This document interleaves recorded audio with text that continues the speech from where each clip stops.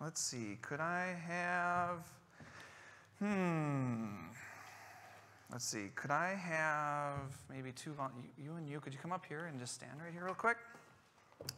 And hold on to this. You got it? Okay, you come to one end, you come to the other end. Um, let's see, Mr. Logan, could you come up here? Come on around from behind, stand right there. Perfect. You don't have to hold it. The ladies will support it for you, but yeah, ladies, could you lift it up a little bit? Can you come up to this as if you're wearing sunglasses? There you go. Okay, just hold that for a minute. A moment ago in our reading from Jesus, we heard that uh, about a speck and, and a, a piece of wood. The piece of wood in Greek is like a tent peg. It would be like the, the thing that either you're securing your, your tent with or the thing that's in the middle of your tent making the whole thing stand up. A big piece of wood, a strong piece of wood. And he's saying, people like to put a piece of wood right in front of their eyes, or they're, they're holding onto a piece in their eyes. But if you dip down just a little bit, Logan, can you see what your sister's color of her pants are?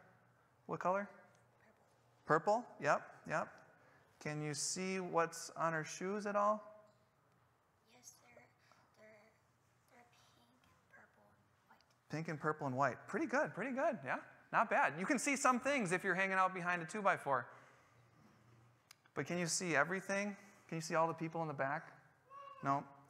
Yeah. So it's crazy. Jesus said that's what it's like when we're holding on to a sin and trying to point out somebody else's sin, right? Like, like if, if my mic was off or something like that, it was, if it was really hanging down weird, I would love it if somebody could help me correct that. But he's not going to be able to see that, right? So Jesus' encouragement is to take this plank and just take it down. Can you bring it down? And deal with it, and then maybe take it off to the side. Can you move it off over here to the side? And then you're good. All right, you're good. Thank you for your help. Mr. Logan, can you see everybody in the back now? You see everybody in the front? If somebody had pie on their face, you'd be able to tell them? Pie or, or like a big spot on the side? Yeah? Nice. Okay, you can have a seat. Jesus says, this piece of wood, this big chunk, is like the sins that are in our own lives that we don't want to deal with. Instead, we'd rather look at somebody else. Do you ever have that happen? To you? Or did you ever do that to somebody else? Here's what it sounds like. Maybe I, have noticed a little something. Don't tell my family, but uh, in, at, at uh, around 8:30 at night, sometimes I hear one of my children tell the other child, "Hey, Dad told you to get off the screen you should put that screen away. It's time you put that screen away. And that's coming from the child who should be brushing their teeth. Does that ever happen? Yeah? Like, you can see something that somebody else should be doing, but you're not dealing with, with your own thing, right? Yeah. Yeah. Um, it's, it's really easy also for like religious people to do that too. At Jesus' time, there were people called the Pharisees and they thought they were like high up here on doing what God wanted to do. They couldn't see their own sin, but they could sure point to other people and the problems that they were doing. And Jesus said it's hypocrisy. It's like play acting. It's like having a big old 4 by 4 in your eyes vision, and you can't really give them help. You can't really give them guidance. So, what do you think would be a better way? How do you deal with this 2 by 4 of your own problems first? Hmm. How would you deal with that? I think with, with my kids, I would encourage them, right, to say, hmm, I'm going to go up on my way to brush my teeth. Mom, I'm going to brush my teeth, and I just noticed, I talked to my brother, sister about it. They're still on their screen. They're kind of dragging their feet, but I'm going to go do what I need to do. I'll let you take care of it however you need to. Do you think you could do that? Oh, that would be so hard. But I think you could. I think when you are following the path that the Lord has for you and when you have laid your sins down before Him, all of a sudden it frees you up to not have this pressure that you have to force them to do what you think they should do. Instead, you can come alongside and say, hey, I know what it's like to not want to listen to mom and dad. I can relate, right? But I found it's actually a lot better if you do. So if you, if you actually talk to mom and dad and say what happened, you can clear the air and we can go on and it's going to work. And then instead of being like enemies with your siblings, you're actually on the same side. And, and it's amazing how God blesses that.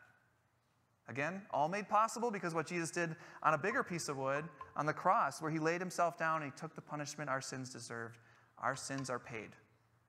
So, tonight, today, this week, focus in on confessing your sins to your Lord first. Focus in on things that maybe aren't right with you that you want to bring to God for Him to heal, and then you'll be able to handle some of the other people around you in love. That's a hard order, a tall order, something that God works. So let's ask for Him to do that for us. Let's fold our hands, please. Just because we don't have to fold our hands when we pray, but we do it because sometimes our hands get distracted if they're wandering. So we fold our hands and we close our eyes. Dear Jesus, thank you for dying on a cross. Thank you for taking the payment our sins deserve. Thank you for giving us brothers and sisters and friends and parents and family and friends, Lord. Sorry for those times we want to point out all the other things and faults of other people and forget our own. You have paid for all of our sins in full, and we thank you for that. Now help us to come alongside of others who need to hear some grace, who need to hear about your sacrifice. Help us to do that starting at home and then work our way out from there. Lord, in your name, we pray. Amen. Thank you, everybody. Today, we're back on for Sunday school. Right on now. Those teachers are eager with smiles on their faces. That's great. And they will keep those smiles as long as you pick your children up after the service. That would be great. So, all right.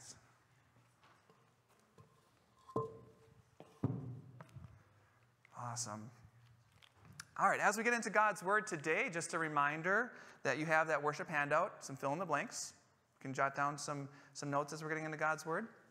The same thing's available in YouVersion Bible app. You go to the events portion, and then uh, you go to this location, and then you'll see the same thing in digital format. So you can take those notes with you wherever you take your phone, which is everywhere. And then every time you get along to the scripture reading that we're going to read today, you'll be able to jog your memory with those same notes. Because we're doing something rather special in this series. We're going to read a whole book of the Bible. And not just the whole book of the Bible, reading it, we're also going to dig into it and understand it, and maybe even potentially be able to explain it to someone else. No, it's possible. We can do this. All right, ready? Let's get in. First, a question though How could they? What were they thinking? I don't think I could ever trust them again. I certainly could never forgive them. Have those words crossed your lips? or maybe come through your mind? Some of those questions, like, I, I don't really, I can't believe it. it. It happens along your life, and if you live long enough, it'll happen probably several times. Because people you trust are sinner saints. Even people inside the church that you feel friends with and that you've been getting along, one thing can happen that all of a sudden derails it. And you can be frustrated, and it can sever ties, and it can cause all sorts of issues. It happens. It definitely happens. Uh, no one knows that more than that old guy in the picture.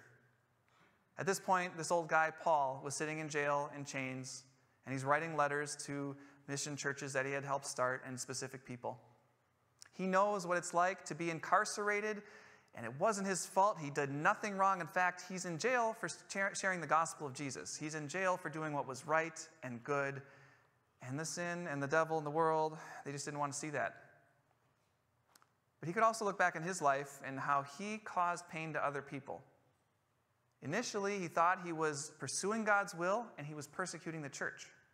And he was going to have people arrested, and he was there giving approval when Stephen was stoned to death, the first martyr. He was part of that. He knew what it was to suffer under the hands of others, he knew what it was to be the one who was causing that suffering. And he knew how hard it was to forgive, that it really was a miracle. And that's why he writes this letter that we're going to read today a letter to the guy named Philemon. So let's open that up. Let's check it out. A whole book of the Bible in one sitting. Are you ready? Philemon chapter 1. There's only one chapter. Verse 1. Paul, a prisoner of Christ Jesus, and Timothy, our brother to Philemon, our dear friend and fellow worker, also to Apphia, our sister, and Archippus, our fellow soldier, and to the church that meets in your home. Grace and peace to you from God our Father and Lord Jesus Christ. I always thank my God as I remember you in my prayers, because I hear about your love for all his holy people and your faith in the Lord Jesus. I pray that your partnership with us in the faith may be effective in deepening your understanding of every good thing that we share for the sake of Christ. Your love has given me great joy and encouragement because you, brother, have refreshed the hearts of the Lord's people.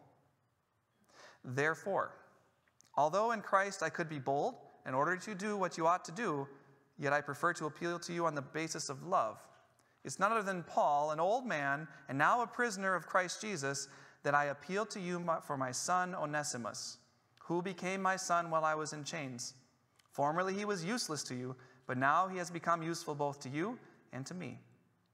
I'm sending him who is my very heart back to you. I would have liked to keep him with me so that, so that he could take your place in helping me while I'm in chains for the gospel, but I did not want to do anything without your consent, so that any favor you do would not be seen forced, but would be voluntary. Perhaps the reason he was separated from you for a little while was that you might have him back forever, no longer as a slave, but better than a slave, as a dear brother. He's very dear to me, but even dearer to you both as a fellow man and as a brother in the Lord. So, if you consider me a partner, welcome him as you would welcome me. If he's done you any wrong or owes you anything, charge it to me. I, Paul, am writing this with my own hand. I will pay it back.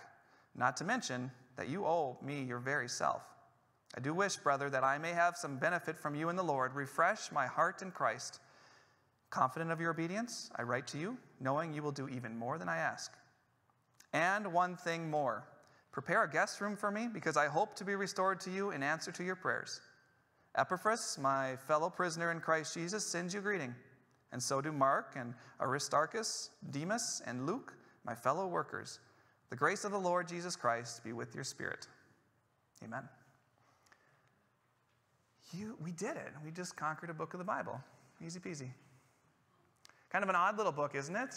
Odd little letter. I mean, just a little like, dear Philemon, and, and here's a little issue, and then sending it away. It seems odd that such a small thing without much context is shared for the ages. That's included in God's word, that God's message was coming through somebody who knew what it was to be hurt and to be the hurter on forgiveness. But it's pretty powerful once you understand the context that there was this guy named Onesimus who was a slave in the household of Philemon. Now, when we think servant or slave, I think in our context in America, we would think African American and what had happened in the South and all of that. Um, in the Roman Empire, it had less to do with race than it did to do with like if somebody couldn't pay their debts, if they were incarcerated for some, doing something wrong, or if they were a conquered people, they would be enslaved. Um, so Onesimus was a slave for whatever reason, but he didn't stay that way. He escaped. But before he escaped, it appears that he also stole something from Philemon. So if you're going to make a modern comparison, I would say think about somebody who works for you or works with you. Somebody you trust with your house. So this is maybe somebody who's cleaning your house, or maybe somebody you work with who, when you're on vacation, they can come into your house and they can take care of everything, water the animals, etc. And you find out that while you were gone, they took a lot of stuff, everything. And then they ran. And they ran as far away beyond your reach, you don't even know what happened to them. They took everything. So if, if, they, if they were watching your house, they took your dog. Um, or, or they took your laptop with all your information from work on it. They took your best tools. They took your, your, your sewing needles. They, they, they, they took your cell phone. They, they took whatever was most important to you is gone. And so is this person who was a big help to you. Gone. No word, no warning, no two week. This was just gone. How would you feel if you were Philemon? Disappointed, to say the least? Angry? Bitter? Maybe you go back over the timeline of how you knew this Onesimus, and maybe you're thinking, oh, I, the signs were there. I should have known this all along. Oh, maybe I could have done something different. Oh, but he's just such a crummy human being. Ugh. I hope he gets what's coming from him. I hope he took a boat, and on that boat there was a storm, and then the storm caused the boat to sink, and then he was floating, and then a shark got him. I hate Onesimus. Very relatable. So you got Onesimus who did wrong, and you got Philemon who's still there, suffering from the damages. And then you got Paul that steps in the middle. And he says, Philemon, our dear friend. He addresses him as our fellow worker. And also, Apphia, most likely his wife, calls her sister. Archippus, probably their child, a fellow soldier, another preacher. And to the church that meets in your home. Early Christian church, they wouldn't gather at a building. Most of the time, they would gather at each other's house, whoever could host a larger amount of people, like 30 to 50. Philemon had his home offered, most likely maybe then a preacher, too.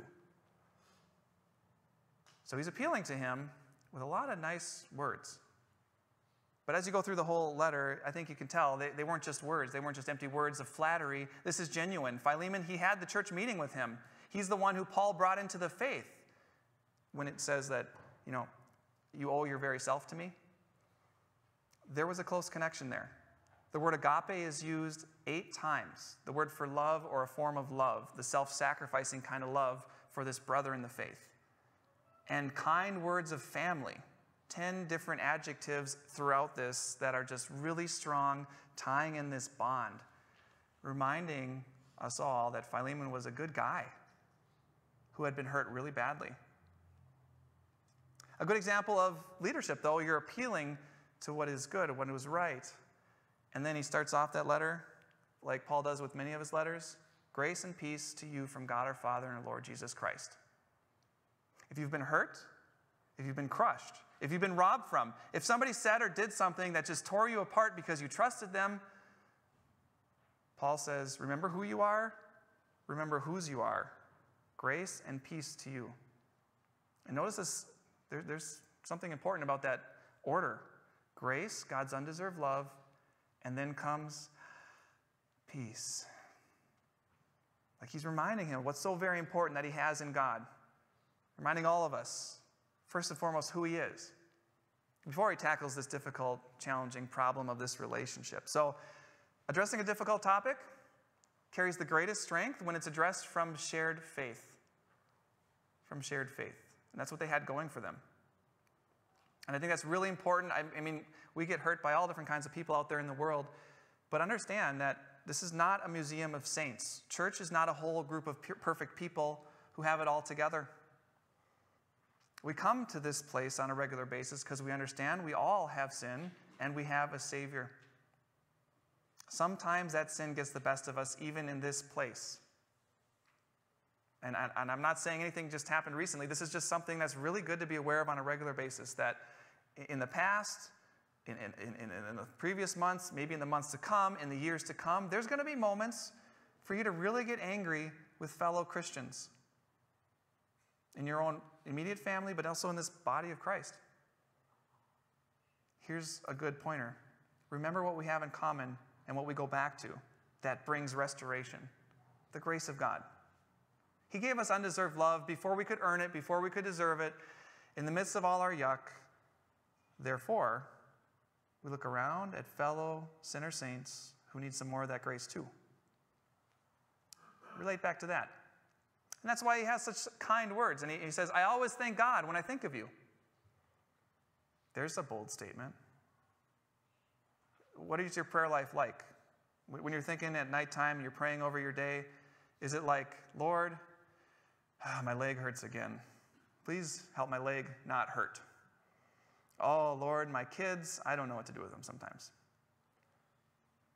He's saying a good chunk of his prayer life, he's thinking about these other Christians and instead of bringing to mind um, things that you're bitter about, or frustrated with, or, or disappointed with, highlighting one thing before God that you're thankful for about them. Think about that for your own life. What difference that would make if your mindset. If in the morning you get up and you're thanking God, when something comes to mind that hurt, also something that you're thankful for about that individual. Different way of thinking about things. That's the body of Christ. That's the value we have as we assemble together on a regular basis before the throne of our Savior who forgives and loves and restores. I always thank God as I remember you in all my prayers because I heard your love and His holy people, your faith in the Lord Jesus. So he brings it back around to the topic of love. If there's this conflict between Onesimus and Philemon, how are you going to bridge that gap? Well, you have a common faith because Onesimus came to faith while he was away. Somehow he rubs shoulders with Paul. And if anybody rubs shoulders with Paul, they're going to hear about Jesus. And if they hear about Jesus, then the Holy Spirit's going to work through that message, and Onesimus was brought to faith. So they have this common faith. What else do they need? They need some of this love. Because, I mean, ultimately, he could force the issue. Paul, an apostle, Philemon, a guy that hosts people at his house, he could just go over and say, Look, I'm an apostle. You do what I say. I have authority. Yeah, follow me around. I have been to mission churches after mission churches. You got to listen to me. He says, I don't want to order you what to do. Instead, I'm appealing to you on the basis of love. Here's the foundation we go back to Philemon, you are a sinner who's been forgiven and loved. Onesimus is a sinner who's been forgiven and loved. Let that be the thing that calls you to forgive your brother. Even though it hurt, love. First John says, We love because he first loved us.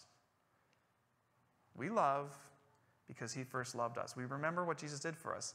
That same context, though, is pretty straightforward and strong as it continues and says, Whoever does not love their brother or sister whom they can see cannot love God whom they have not seen.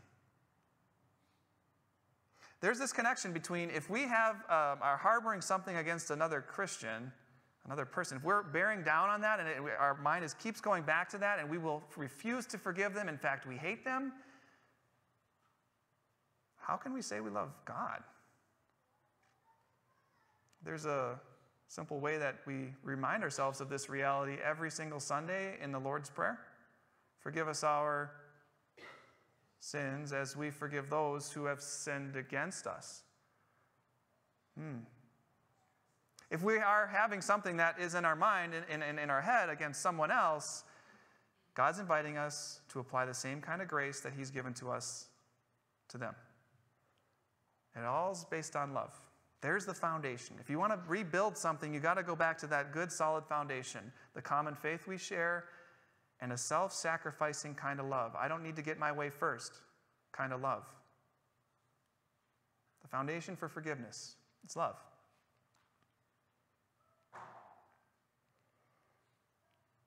And when that love hits, then you can start to dream about what it could be once that foundation builds up to a beautiful building and structure of a relationship again. He hinted at that. He said, Perhaps you might have him back forever. No longer as a slave, better than a slave, as a dear brother. He's very dear to me, but even dearer to you, both as a fellow man and as a brother in the Lord. So I know it hurts. I know what he did was bad. But in the common faith you share, in the love that you've been shown, dream about what this restored relation could look, look like in five years, in 10 years, in 20 years. Instead of just being one of your workers, instead of just being a helper around the house, now he's like a shoulder to shoulder fellow brother part of your family. That's better by far. Dream of what this could be instead of going back to all the things that hadn't been. Good wisdom, right? How sweet would that be? When, when, when Philemon's there getting this letter, and then Onesimus comes in there and he's reading it right alongside of him, and, and, and Philemon's able to actually put his hand on his shoulder and say, Brother, you hurt me. It hurt bad. I did not expect something like that to come from you.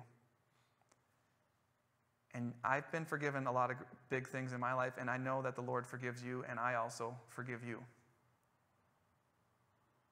How sweet a moment like that. Something that uh, just you long for. They're restored. Forgiveness in that moment, but also understanding that it's a process that began with that first step. I say forgiveness is a moment and a process. You, you understand, like, it's, it's a moment. I say, I forgive you. But it's also a process because our brains, they love to bring up things of the past, and you're going to be ending up forgiving them another 10, 20, 30 times as the hurt maybe resurfaces or something else happens. Maybe understand what forgiveness is. It's not saying it was okay, it's not giving them permission to do it again.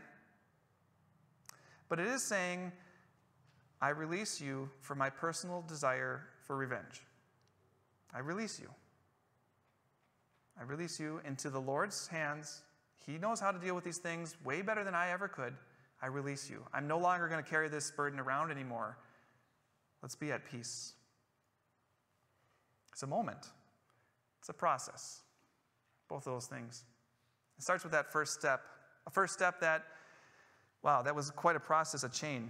It was a first step that started when the Lord brought Onesimus to meet Paul. And then, and then Paul worked with Onesimus, and then in a common sharing of faith and in forgiveness, what Christ has done, Onesimus decides that he's going to go back to the house he robbed and the person he hurt. The consequences for a runaway slave were not good. Philemon would be in his rights to really hold it against him in a lot of different ways. Why would he do that?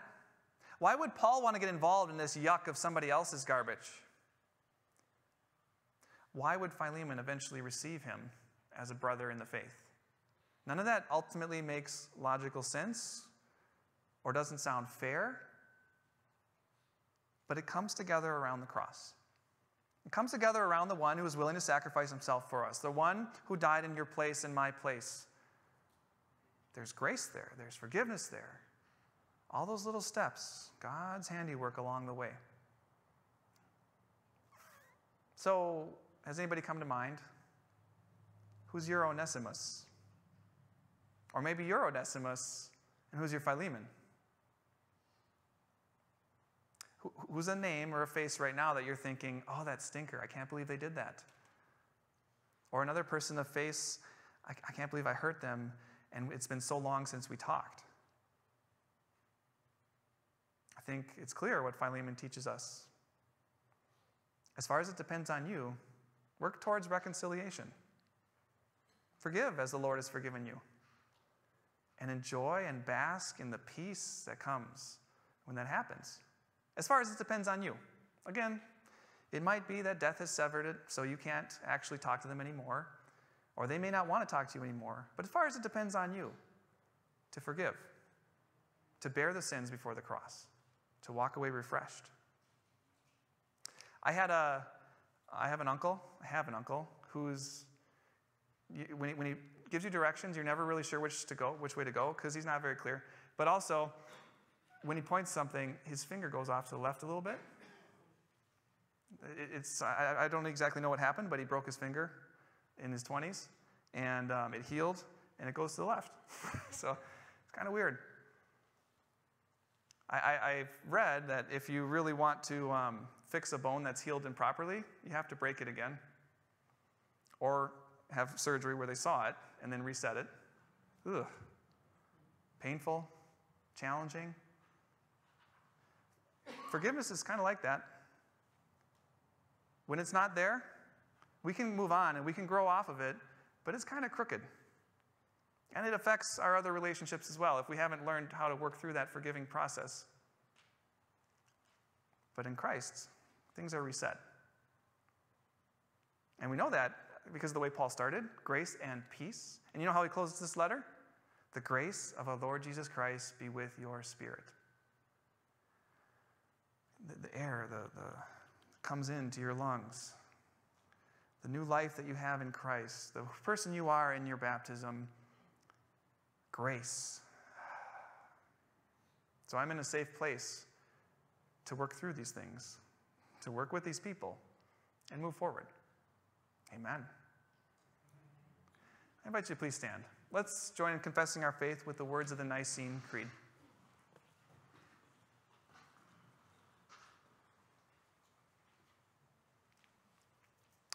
We believe in one God, the Father, the Almighty, maker of heaven and earth, of all that is seen and unseen. We believe in one Lord, Jesus Christ, the only Son of God, eternally begotten of the Father, God from God, light from light, true God from true God, begotten, not made, of one being with the Father. Through him all things were made, for us and for our salvation he came down from heaven, was incarnate of the Holy Spirit and the Virgin Mary, and became fully human. For our sake, he was crucified under Pontius Pilate. He suffered death and was buried. On the third day, he rose again in accordance with the Scriptures. He ascended into heaven and is seated at the right hand of the Father. He will come again in glory to judge the living and the dead, and his kingdom will have no end. We believe in the Holy Spirit, the Lord, the giver of life, who proceeds from the Father and the Son, who in unity with the Father and the Son is worshiped and glorified, who has spoken through the prophets. We believe in one holy Christian and apostolic church. We acknowledge one baptism for the forgiveness of sins. We look for the resurrection of the dead and the life of the world to come. Amen. You may be seated as we prepare to bring our gifts to the Lord. Uh, there's an offering envelope in there as well as a way to text to give if you're so moved. A couple things to highlight as we're preparing for that. California Lutheran High School is hiring. That's our local Lutheran high school down in Wildomar. Uh, great school. They're looking for a administrative assistant that's going to be working the school hours. So basically, I think like 7:30, 8 o'clock until they get done around 2 or 3. So if you're looking for a job and you can do some administrative stuff, it's a little bit of a drive, but it's a cool environment to work. Annual blanket drive, donations needed. Every year we get together, blankets, like um, building our own blankets. We get fabric that's donated or um, gift cards to Jo-Ann Fabrics, and then groups of people across our campuses, also in our communities through social media, pull together. And I think they did about 5,000 blankets last year, and then they were donated to Riverside County Police, and then they're shared with people throughout that next year as the people have need. So if you want to get involved with that, uh, Nina Acosta is the contact person, Nina, and I can get you her digits afterwards. I'll let you know. Church campout. Today is something special. Today, is Toby's birthday. That's my son. But besides that, September 15th to the 17th, there's a camp campout. Today's the last day. It's that pre registration cost. It's going to go up $20 next week. Yeah, you don't want to pay an extra $20. If you've been on the fence, now is your time to register. It's pretty close to this campus, right? We're going to go to Hurkey Creek. Uh, we're going to have a great day camping Friday and Saturday night. And then there's going to be uh, games on Saturday, other activities, some downtime, campfire, potluck, worship outside, etc. It's going to be amazing. So if you want to get registered, that QR code will get you registered. It also came through the newsletter. There's two more. Hold, hold on. Here we go. One more. AZ California Missionary Conference is happening today. Well, we're getting there today, Monday and Tuesday. So Pastor Ben and I are going to go on a plane over to Vegas. We're going to be so busy we won't get distracted by the lights or any other shenanigans. But we will get together with a whole bunch of other missionaries. It's limited to about 50 um, pastors who are in a mission setting. And we take times listening to specific presenters, but in between we have commercials where each of us has to give at least two minutes on one thing that they have that it would be helpful to the brothers that in the mission setting. So it's a really great way for us to get to know each other and share resources. So we're going to do that, and we'll be gone um, mon- uh, tonight through Tuesday night. But we'll have our cell phones on us, so if you need us, let us know. All right? And finally, Faith Moves Mountains, save the date. First ever all campus celebrating together worship, ministry planning meeting, fellowship meal. Every year we have a Crown of Life annual meeting that's been at each campus individually after church. You don't get to see all of Crown of Life in that way. Also, I don't know, it just seems a little bit kind of off to the side, like a 15, 30 minute thing. This year, we want to do something really big and special. Um, pastors, along with volunteers, along with Crown of Life leadership, has pulled together a great ministry plan for one year, three year, 10 years at Crown of Life. And we want to share that with everybody so that we're aware of it, so we know what the church is going to look like next year and maybe three years from now with the Lord's blessing. We're dreaming big, we're excited, and we want to share that. That might be a little challenging, though, to get together. So understand, we want to get together for 9 a.m. worship in Riverside. We're not going to have a worship service at Yucaipa or Corona. We're coming together at Riverside for 9 a.m. worship, and then a 10 a.m. meeting, and then 11 a.m. potluck uh, catered in meal that's going to be really good. And then noon, we're going to be done and we're going to go our separate ways celebrating. That's the plan, anyways. If someone visits on that Sunday at Yucaipa or Corona, we'll have a volunteer stationed at Yucaipa or Corona with coffee and donuts, welcoming them, explaining what's going on, and inviting them to come back next time. And then after that, the volunteers are going to join us at Riverside. If anybody can't get there because of the distance from Yucaipa to Riverside or from Corona to Riverside, we're going to have um, some coordination of drivers, as well as if we really need to, we can get a King's Kids van, 10 passenger van over here, load you up, we'll get over there and get you back. Cool? So there's really no excuse not to participate in this really neat event.